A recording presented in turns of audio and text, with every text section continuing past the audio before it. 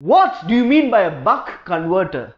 My name is Rishi Remju and welcome back to the Backbench Engineering community where I make engineering easy for you. So let me ask you that obvious question. What do you actually mean by the term buck converter? Well, let's find out. So, buck converter is a type of DC to DC converter. That is what it does is that it converts one form of DC voltage to another form. So to be precise over here, a buck converter is a step down DC to DC converter. That is, if a particular voltage, input voltage VI is given, it steps down this VI to the output voltage. That is, whatever input voltage is given at the output, this particular voltage will be reduced. So let me state an example here. Let us assume that we have taken a particular device, say a speaker. Let us assume that we have taken a speaker system like this. And let us assume that a particular 12 volt power supply is given to this. That is, this is connected to a 12 volt adapter. So whatever voltage comes inside this is 12 volt and now to give an input to the speaker we have to connect a particular USB device. So a USB device is connected like this. But if this 12 volt is supplied to this particular USB device the USB device will burst. That is it will get destroyed if this particular 12 volt is supplied to the USB device. So therefore the voltage must be reduced when it has to be supplied to this particular USB device Therefore, what we do is that this particular 12 volt supply is connected to a buck converter that is a step down converter and this particular step down converter's output is connected to this particular USB source. So therefore, this particular voltage can be stepped down or reduced to be provided to this particular USB. That is, a USB operates generally at around 4 volt or 5 volt. So this particular buck converter can be used to provide this particular 5 volt source to this particular USB.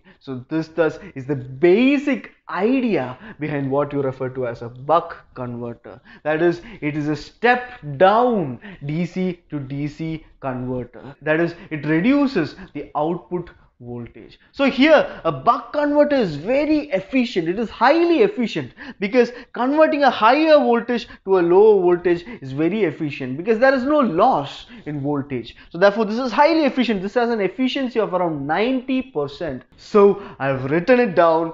Buck converter, it is a step down DC to DC converter where buck means that the voltage will decrease. So thus at the load, the voltage will step down while the current gets stepped up. So here it has a very high efficiency that is the efficiency is greater than 90%. It can be used in devices where the voltage can be supplied to USBs, RAMs etc. by stepping down or reducing the source voltage. So this thus is the basic idea behind buck converters. So now let us draw the circuit diagram of a buck converter. So first it will have a source voltage like this. Let this be the source voltage say Vs and now this source voltage is connected to a switch and here a particular diode is connected like this. A diode is connected in this configuration and this then is connected to an inductor like this and this then is connected to a particular load like this and this load is connected here and across this load a particular capacitor is connected like this so this thus is the basic diagram of a buck converter. This is the voltage source, this is a particular inductor, this is a capacitor, this is the load and this is a particular diode. So the output voltage is obtained across this particular load okay. So therefore this voltage source vs must be stepped down and must be supplied to this particular load. So for this what we use here is that we use the charging property of an inductor so we know that whenever a particular voltage source is supplied to a particular inductor, as the current increases, the energy is stored in the magnetic field that is associated with this particular inductor. Okay. So now first let us consider the on situation. That is, let us first switch on this particular switch. So when this switch is switched on or when it is turned on, what we observe is that a current starts flowing like this. So therefore it flows through the inductor and it flows like this completing a loop so it flows through the load and it completes the circuit like this. So therefore the current starts flowing and therefore a polarity is obtained across this inductor where this is positive and this is negative. So now what we see is that a partial minority current also flows through this particular capacitance. Okay. So this is what happens when the switch is in the on position. So when it is in the on position now the energy gets stored within the magnetic field of this particular inductor and therefore this particular inductor is getting charged. It is getting charged when the switch is on. Now let us consider the situation where the switch is now turned off. This switch is now in the off position. Now when this switch is in the off position, what we observe is that the polarity of this particular inductor gets reversed. That is, this becomes positive and this becomes negative. And therefore, this inductor starts discharging current and therefore the current will flow like this. It will flow through the load and it goes here, it goes here and it will flow through the diode and it will flow back like this. And it forms a loop like this. And here also partial current is found to be flowing through the capacitor as well. So here in this diagram why we provided the capacitor here is that when the inductor starts discharging it will have some amount of AC components or ripple components present inside the current when this particular inductor starts discharging. So therefore in order to filter out all those AC components and to provide pure DC voltage across this load we provide this particular capacitor across this particular load. That is why this particular capacitance is provided here. As simple as that guys, as simple as this. So now when this particular switch is open, the current starts flowing like this within this particular loop. This entire system is omitted now it only flows through this like this and a partial current flows through this capacitor in order to remove the AC components and provide pure DC to the load. So this thus is the basic principle behind the working of a particular buck converter. So now again when the energy that is present inside this inductor falls below a particular value then the switch is again turned on. And when the switch is again turned on the polarity here it gets reversed. This becomes plus this becomes minus and therefore the current starts flowing through this particular loop. That is the entire loop. Current doesn't flow through the diode. The diode doesn't conduct so therefore the current starts flowing in this particular loop and some minority amount of current flows through the capacitor. So here the current does not flow through the diode because when it flows like this the diode is in the reverse bias condition and therefore it does not conduct current. So therefore it flows through this particular loop as simple as that. This thus is the basic idea or the basic principle behind the working of a buck DC to DC voltage converter. As simple as that. So now let us see the waveforms that are associated with a particular buck converter. So first let us see the waveform at the output that is at the load. Let's see what the waveform that is associated with the output voltage that is V0. So now across the x-axis we have the time. So therefore this is the time for which the particular switch is on and this is the time for which the switch is off. This is the time for which the switch is on and this is the time for which the switch is off. So I've divided it into on condition and off condition. So first, let us see the output voltage. That is the voltage that is obtained across the particular load. So now when the switch is in the on position, the current starts flowing like this. So therefore, the voltage across V0 would be maximum. That is the maximum voltage that would be obtained here is equal to the voltage source itself. So therefore, at this particular condition, that is when the switch is on, for that time period, we'll obtain a maximum voltage like this, which is equal to Vs and now when the switch is off we'll obtain a minimum voltage. That is the voltage would be minimum like this.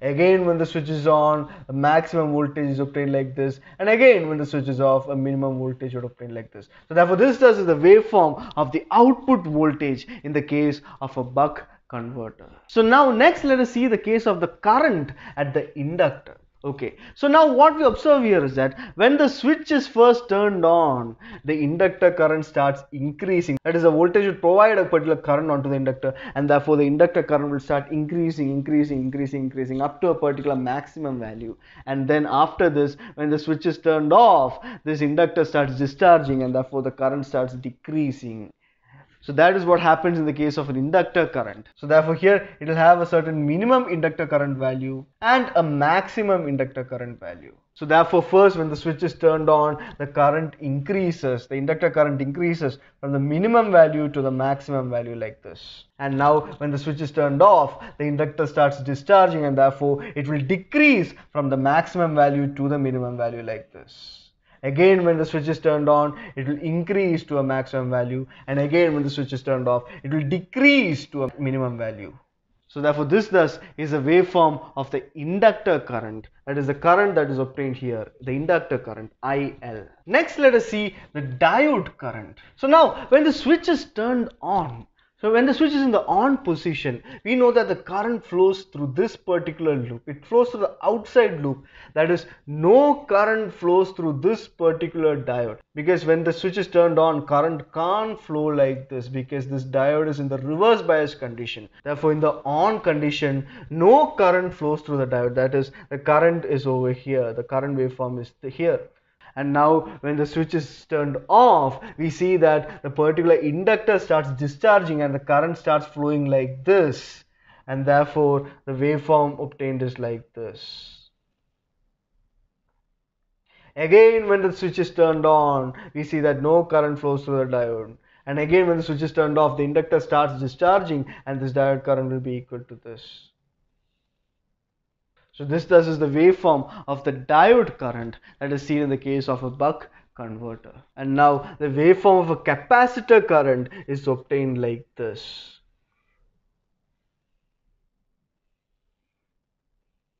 This is the waveform of the current that is flowing through the capacitor because this capacitor is solely placed for the purpose of removing the ripple or the AC current components that are present here. So therefore the average value of this capacitor current is 0. So these thus are the basic waveforms that are associated with a particular buck converter.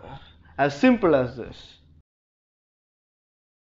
So now when the switch is in the on position, the voltage across this particular inductor is given as VL is equal to Vs minus V0 that is the difference between the source voltage and the output voltage. That is the voltage that we obtain across this particular inductor. And now the current that is flowing through this capacitor is given as IC is equal to the inductor current IL minus the output current I0 that is whatever current is flowing through the inductor that current minus the output current. That is the amount of current that is flowing through the capacitor. So that is what you refer to as the capacitance current. So this is the case when the switch is in the on position.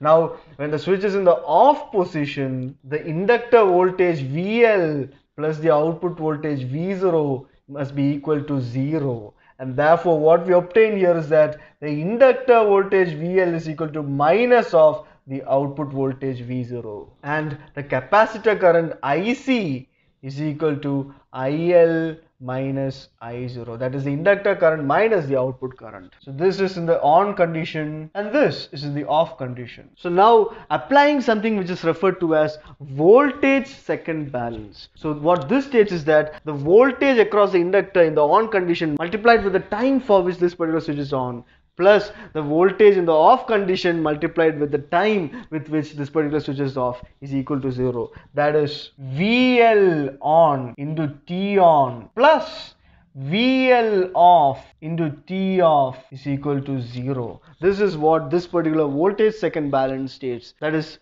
voltage in the on condition into time for which it is on plus voltage in the off condition into time for which it is off is equal to 0. So therefore here we know the values for VL on and VL off. That is VL on is given as Vs minus V0. And here we know that the duty cycle D is equal to T on by T. Therefore T on is given as T on is equal to duty cycle into T. That is the expression for T on. So substituting this T on over here, we get Vs minus V0 into dt plus this VL off we got it as minus V0 this is equal to minus V0 into T off is given as 1 minus D into T which is equal to 0. So therefore from this we get the value of the output voltage V0 is equal to D into Vs where the value of D varies from 0 to 1. So therefore from this what we observe is that the value of the output voltage will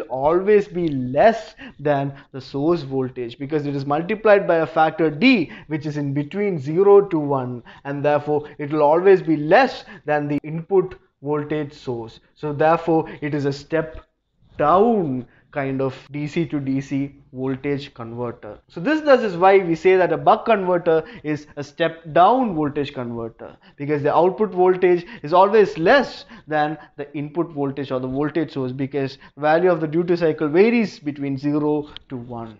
Next, let us apply something referred to as the current second balance. So in current second balance, exactly similar to what we saw in voltage second balance, here the current in the on position multiplied with the time for which it is on plus the current in the off position into the time for which is off is equal to 0. That is IC on into T on plus IC off into T off is equal to 0. Here the value of IC on and IC off are given here which is both IL minus I0. So therefore substituting the values here we get IL minus I0 into dt plus IL minus I0 into 1 minus D into T is equal to 0. So therefore from this what we obtain is that the inductor current IL is equal to the output current I0. So therefore from this what we have to deduce is that whatever inductor current flows that current flows through the output current and therefore this is why we say that the average current flowing through the capacitor